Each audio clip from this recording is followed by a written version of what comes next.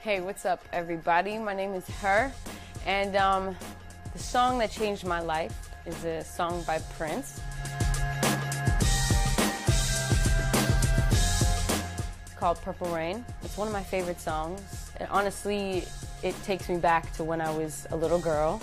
My dad was playing the Purple Rain album uh, and the movie back to back to back to back. So much of that album and that song influenced my music and it changed the way that I viewed playing the guitar. Prince is my favorite guitar player, one of my favorites of all time. And that song just represents so many different genres, so many styles of music, and so many uh, different kinds of emotion.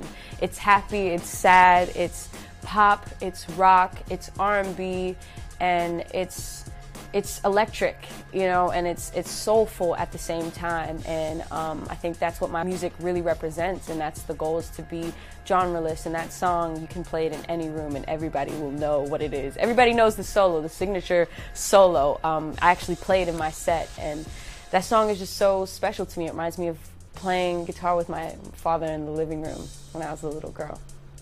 The song makes me feel can't really put one emotion on it because sometimes I can listen to it when I'm sad, I can listen to it when I'm happy.